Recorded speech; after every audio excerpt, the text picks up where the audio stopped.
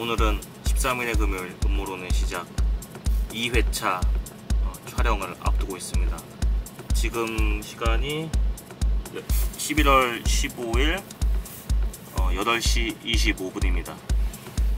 오늘 11월 15일은 수능 시험이 있는 날입니다. 그래서 방금 뉴스를 보니까 8시 10분까지 수능 시험장의 입시를 마감했다고 합니다. 수능 시험을 앞두고 있는 여러분들 많이 떨리고 긴장될 텐데 준비하신 만큼만 차분히 실수 없이 시험을 보시면 좋은 결과가 있으리라고 생각이 듭니다.